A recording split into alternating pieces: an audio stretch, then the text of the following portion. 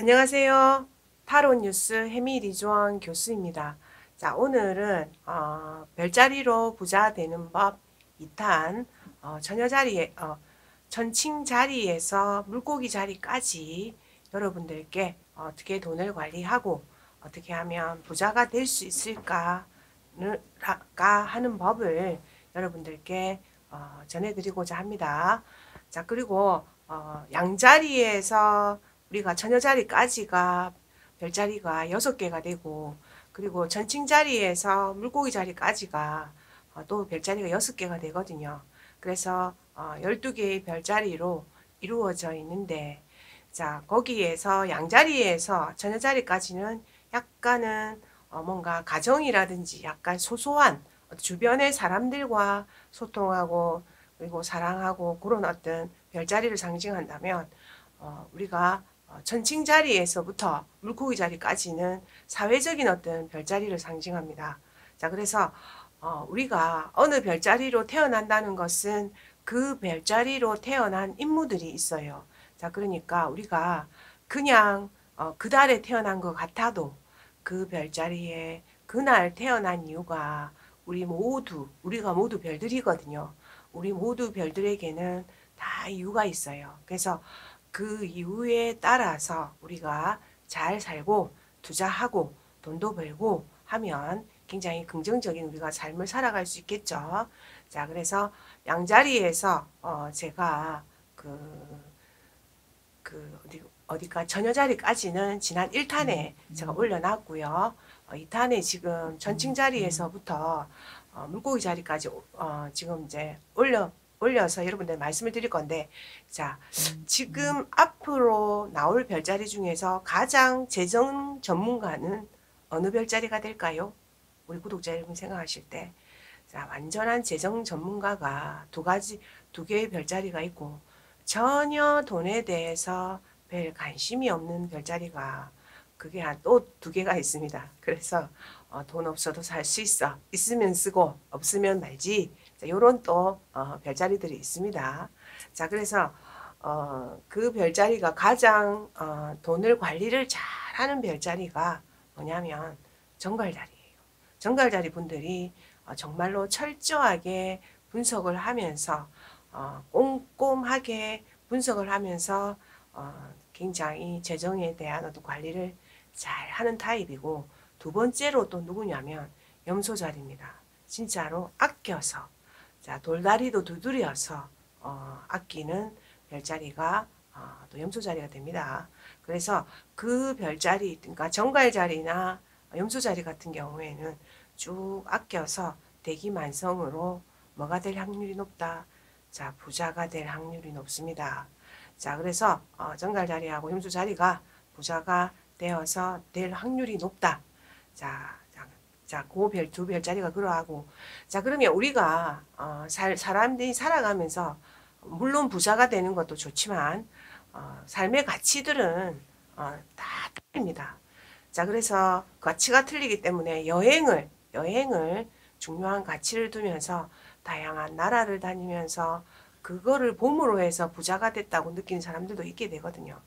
있게 되고 또 어떤 분들은 어, 돈은 아니더라도 내가 좋아하는 미술품, 내가 좋아하는 명품, 내가 좋아하는 것들을 많이 또 가짐으로 해서 마음이 부자가 되는 사람들이 있어요.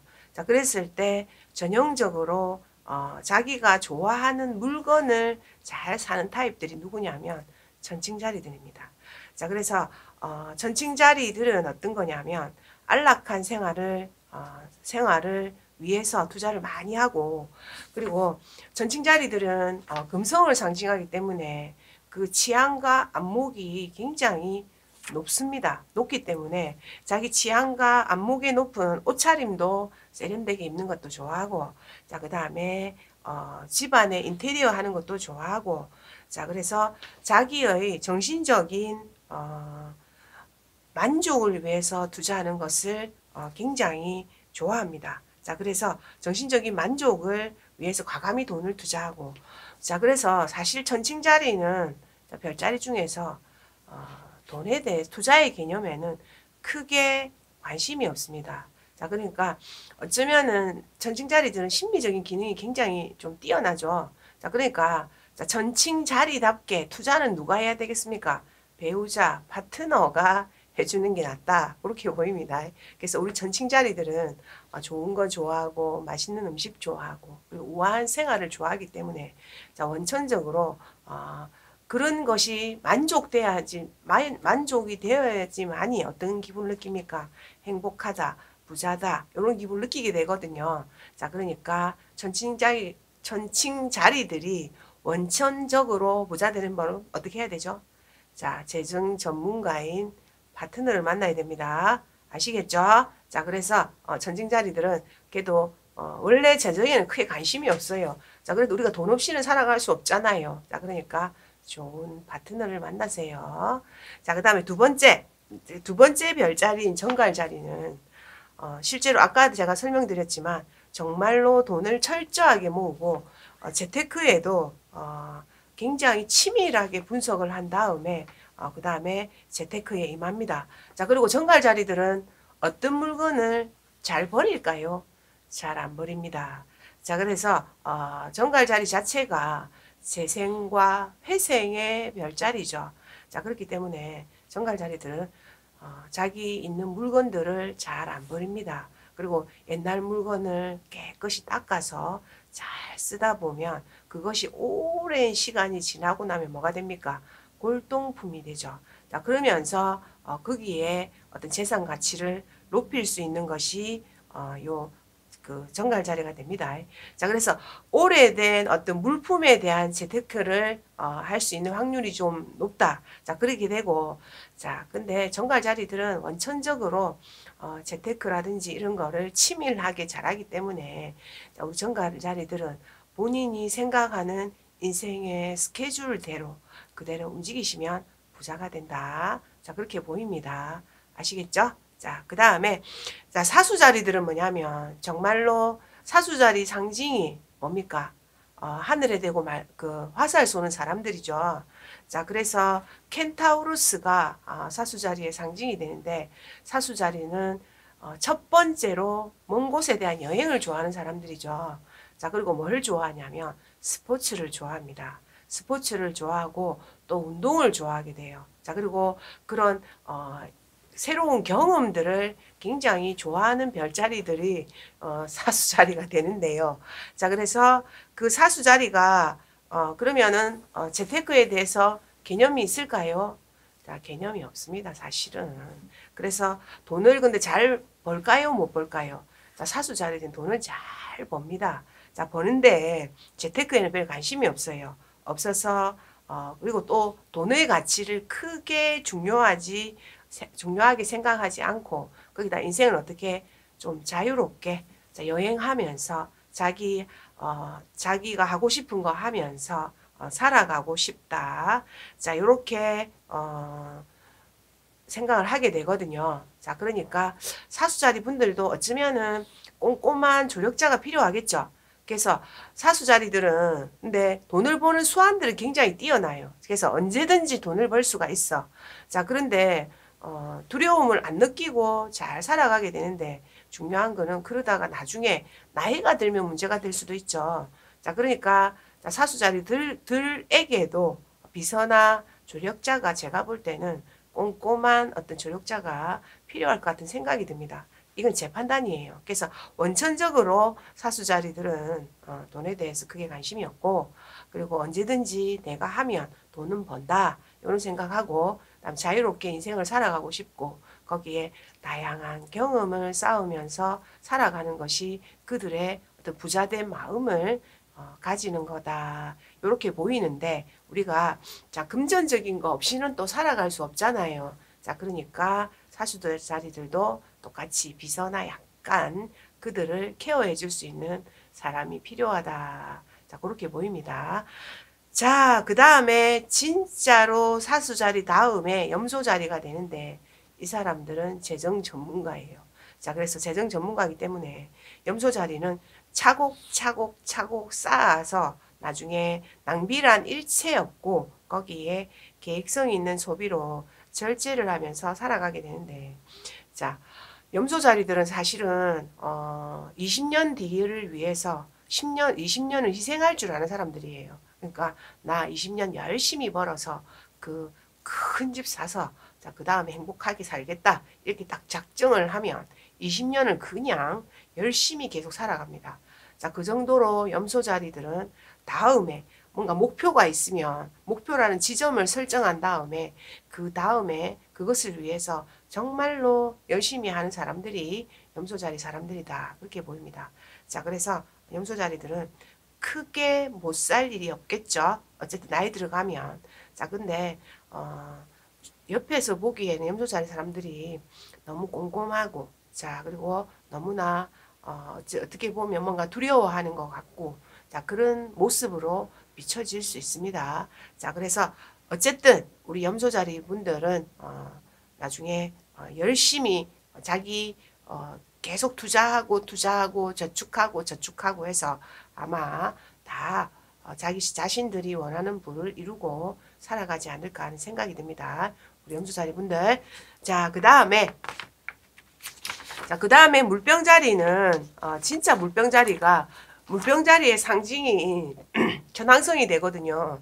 그러면 자, 전황성이 되는데 물병자리들도 진짜 부 아예 이거는 물병자리들은 부자에 별 관심이 없어요. 자 그렇기 때문에 돈을 많이 벌려고 안 하고 그리고 어 그리고 돈에 대해서 크게 많이 집착하지도 않고 또 거기다가 소비와 균형이 깨지는 경우가 많거든요. 그렇기 때문에 경제적으로 어려워지지 않으면 정말로 물병자리들은 어 원천적으로 누군가가 돈 관리를 따로 해줘야 됩니다.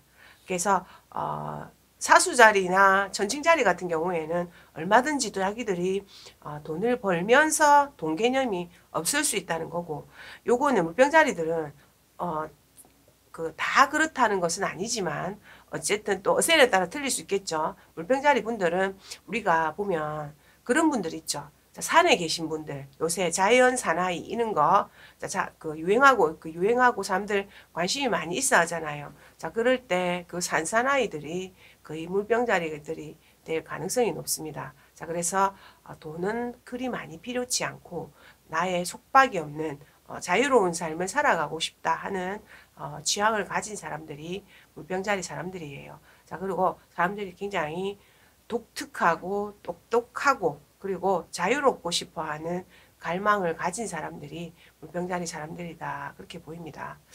자, 그래서 물병자리 사람들 사실은 현실에 발을 디디고 특히 남성분들 발을 디디고 살아가려면 어, 몹시 고통스러운 어떤 상황도 생길 수가 있습니다. 왜? 자유롭고 싶기 때문에.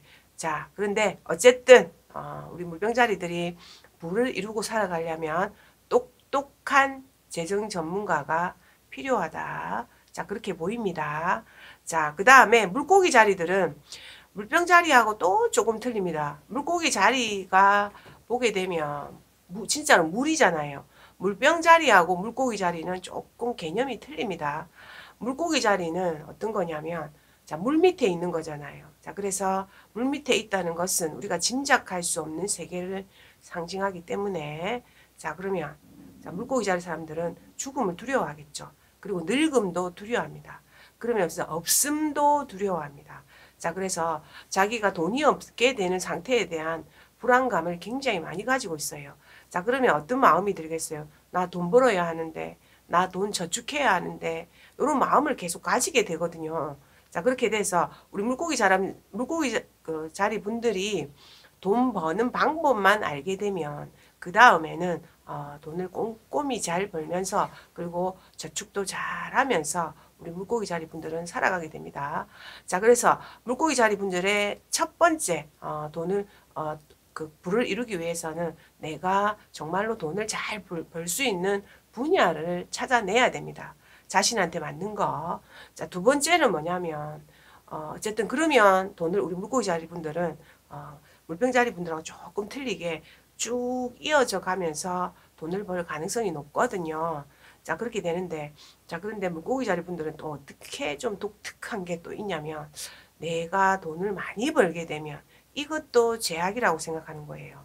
자 그러면 그래서 저성 가서 이거 사람들 많이 부려먹고 내가 나쁜 짓을 많이 해가지고 돈을 또 많이 벌게 되면 이게 나쁜 일일까 좋은 일일까에 대한 어떤 어, 평가가 또 물고기 자리 분들은 들어갑니다. 좀 이상하죠? 자 근데 그거 알수 없습니다. 우리 별들마다 그 사람의 특징이 다 틀리니까 아, 그렇다 이렇게 생각하시면 되고 거기에 그래서 우리 물고기 자리 우리 사람들이 물고기 자리 분들이 뭘 많이 하냐면 기부를 진짜 많이 합니다. 자 그래서 기부 좋은 사람들을 위해서 자 기부를 많이 하게 됩니다.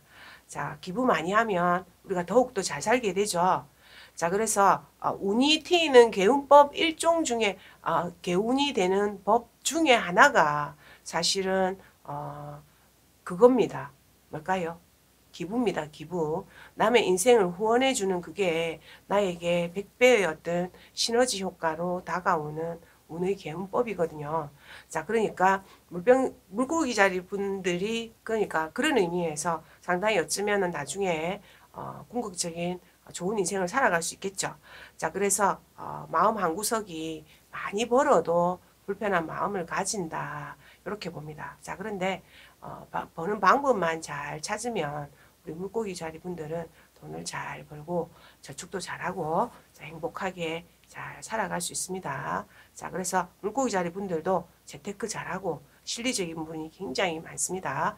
자, 그래서 어, 별자리별로 부자 되는 법에 대해서 어, 제가 간략하게나마 말씀을 드렸고요. 원천적으로 근데 이 별자리들을 공부하고 제가 재테크나 부자 되는 법에 대해서 여러분들에게 이제 알려드리면서 별자리들마다 자신이 생각하는 부자라는 개념이 있죠. 물론 현대적인 부자는 돈이 있어야 부자이기도 하죠. 자, 근데 어, 나는 쌍둥이 자리입니다. 제가 쌍둥이 자리잖아요. 그러면 어, 적당한 돈만 있으면 자유롭게 여행하고 많은 경험을 쌓고 자 그렇게 나는 살아가고 싶다. 그게 사실 저는 저희 부자의 개념이거든요. 자 그럼 염소 자리 사람들은 어떨까요? 염소 자리 사람들은 워커홀릭이 많거든요. 자, 그럼 워커홀릭은 뭡니까? 일을 함으로 해서 거기에서 자기의 금정과 탄탄한 자기 기반을 어, 만들어가고 그걸 점점 키움으로 해서 행복해지는 게 그분들의 부자거든요. 자, 그래서 어, 제가 어쨌든 별자리들마다 마다 어, 좀 부자에 대한 관념이 어, 개념이나 어떤 관념이 틀리니까 여러분들 잘 들으시면서 어, 어쨌든 참고하셔서 다 행복하고 부자 되 부자 될 수 있는 그리고 마음의 부자도 될 수 있는 자 그런 삶을 살아가시기 바랍니다. 감사합니다.